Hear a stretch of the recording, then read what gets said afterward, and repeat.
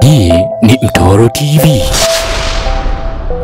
Ndugu zangu, Allah subhanahu wa ta'ala amemtuma amemtuma Mtume sallallahu alayhi wasallama awe ni rehma kwa umma, awe rehma kwa viumbe, na hili analizungumza yeye Mwenyezi Mungu subhanahu wa ta'ala katika surati al-Anbiya mia na saba. Allah subhanahu wa ta'ala anasema wama arsalnaka illa rahmatan lilalamin, hatujakupeleka wewe Muhammad isipokuwa tumekupeleka uwe ni rehma kwa viumbe alalamin, kwa viumbe- wote.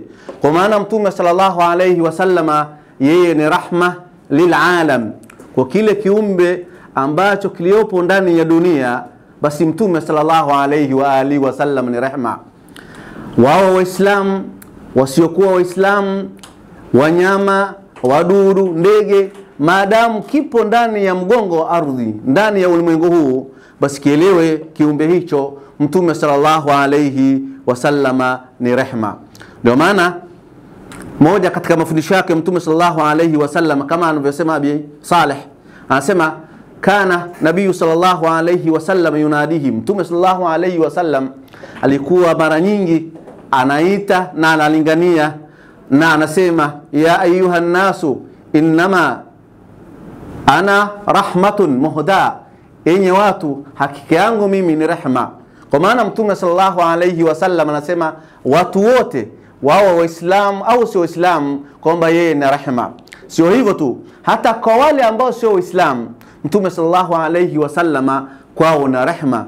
Ndio maana moja katika siku akiwa Mtume sallallahu alayhi wasallama ametatizwa na Makuraish mushirikina wakiwa wanamuuzi, akaambiwa kwa nini usiwaombea dua mbaya, usiwalani, kama vile hadisi ilivyopokewa na Abi Huraira. Abi Huraira anasema kwamba kila ya Rasulullah udhu ala almushrikin, aliambiwa wewe mtume wa Allah subhanahu wa ta'ala waombee walaani mushirikina kwa mambo ambayo wanakufanyia. Mtume sallallahu alayhi wasallam akasema inni lam ub'ath la'anan wa innama bu'ithtu rahmatan, mimi sikutumwa kwa ajili ya kulaani laani, hakika mimi nimetumwa kwa ajili kwamba mimi ni rehma kwa viumbe. Kwa maana Mtume sallallahu alayhi wasallama ni, ni rehma kwa viumbe au kwa dunia, kwa ulimwengu. Ama rehema kwa Uislamu ndio kubwa kabisa. Angalia huruma ya Mtume sallallahu alaihi wasallama, angalia rehema ya Mtume sallallahu alaihi wasallama hata katika ibada, katika swala na ibada mbalimbali, Mtume sallallahu alaihi wasallama alikuwa ni mwenye kuwa na huruma sana. Katika hadithi ambayo amepokea sahaba Abi Qatada radhiyallahu anhu ani nabii sallallahu alaihi wasallam, Abi Qatada anasema kutoka kwa Mtume sallallahu alayhi wasallama qal, amesema Mtume inni la aqum fi sala, hakika mimi nasimama katika swala.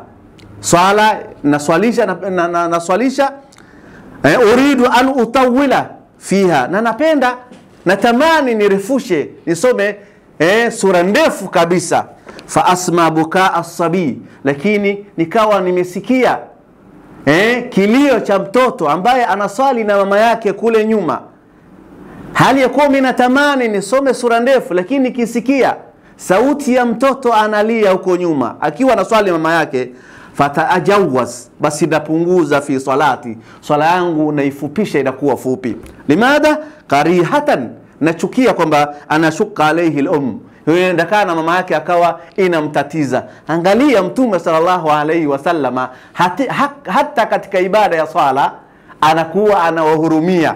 Sio hivyo tu, rehema Mtume sallallahu alaihi wasallama katika ibada hii ya swala, katika hadithi ambayo wamepokea Abi Mas'ud radhiyallahu anhu anasema ata rajulu nabiya sallallahu alayhi wasallama, Mtume sallallahu alayhi wasallam alijiwa na mtu mmoja, faqal, yule mtu akasema inni lataakharu an salati lghadha, ewe mtume wa Allah, mimi nachelewa kuswali swala alfajiri min ajli fulani, kwa sababu ya fulani, mimma yatwilu bida, anasoma sura ndefu sana. Imamu fulani ambaye anatuswalisha anasoma sura ndefu sana. Hiyo ndio sababu inasababisha mimi nisiswali swala alfajiri.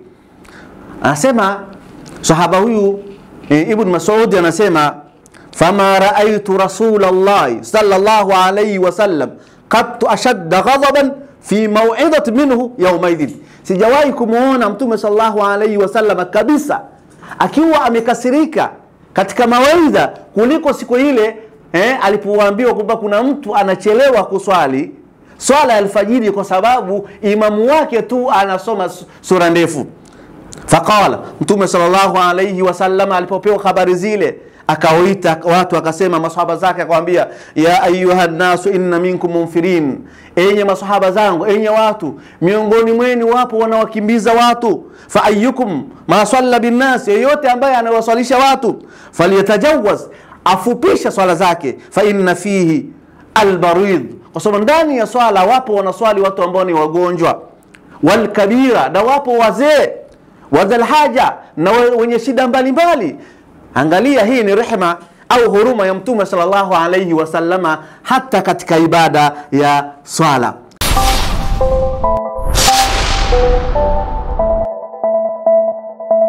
Hii ni Mtoro TV.